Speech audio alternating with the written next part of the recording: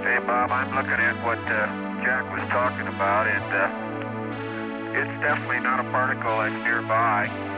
It is a uh, bright object, and it's uh, obviously rotating because it's flashing. It's uh, way out in the distance, apparently rotating in a very rhythmic fashion because the uh, flashes come around almost on time. As we look back at the Earth, it's uh, up at about 11 o'clock, about, uh, oh, maybe 10 or 12 dia- Earth diameters. Uh,